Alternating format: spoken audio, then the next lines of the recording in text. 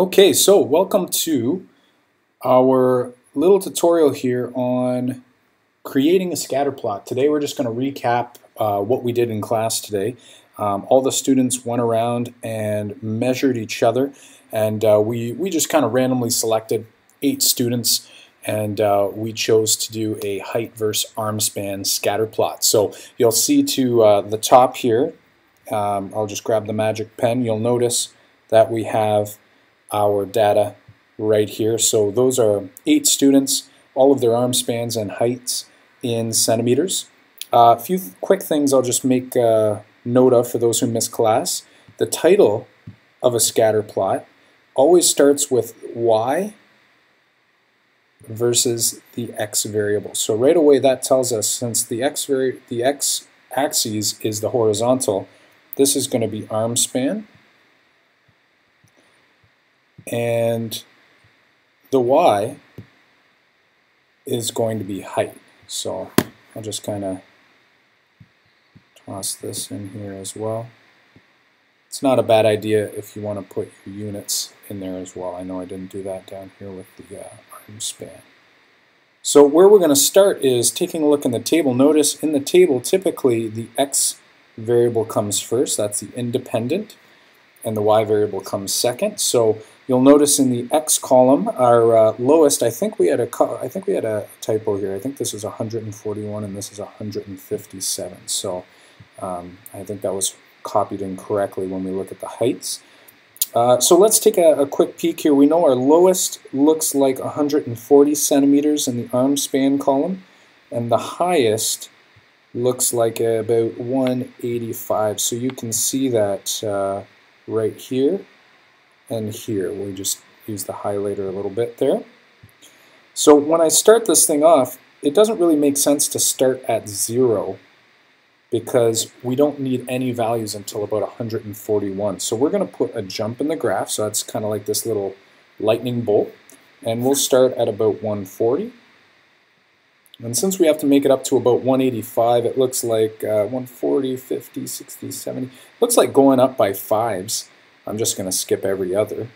So you'll notice here it was 140, then 145. Here's 150, 155, 160, 165, 170, and 190. We'll even go all the way to 200. That'll allow us to make some predictions. Notice how we're going up by tens each time. Um, whatever you choose as your scale, you must stay consistent to that. Um, when we look in the height column, you can see the lowest, um, once again, is 140. And the highest looks like 179. So it looks like we're probably going to be using a, a similar scale. So we'll do, once again, we're going to do another jump here. And we'll start at 140 and go up by fives. I'm only indicating every 10 though.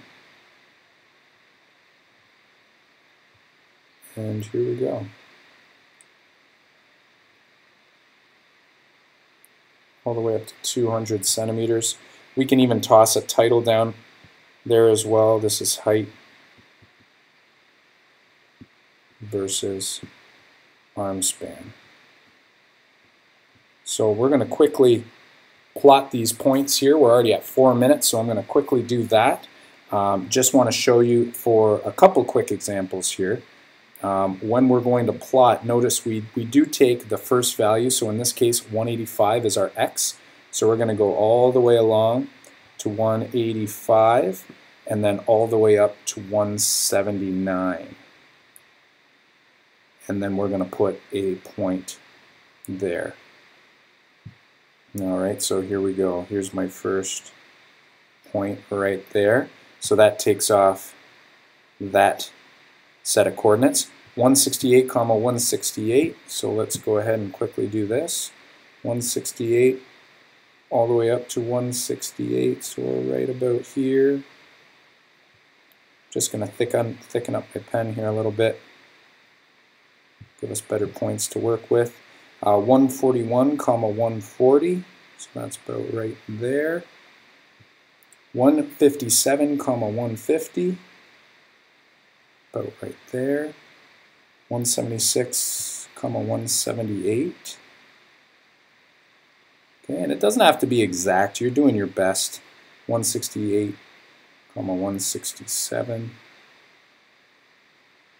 Looks like we already had a point similar. 160, or sorry, 176, comma 161. About there. And 162, comma 168. Oops, sorry, 158. So let's back that up.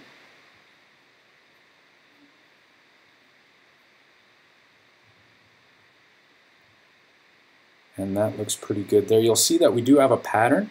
I'm just going to get these green lines out of here because uh, those are not necessary. I was just trying to indicate that we always go right and left, then up and down. But you'll notice we do have a trend, and when we have a trend, we like to show that trend using a line of best fit. So you're going to grab the line tool and you're going to try to get the line that works best. Notice here more points are under, more points are over. You want to try to get right in the middle of the majority. And Everyone's is going to be a little bit different, but this helps us make some predictions. It says describe the relationship between the variables. In this case, I'd be comfortable saying that this, because it's rising to the right, we would say that this is a positive trend since the, both, both the x and the y values are increasing. And because the points are very close to the line, I would call this strong linear correlation.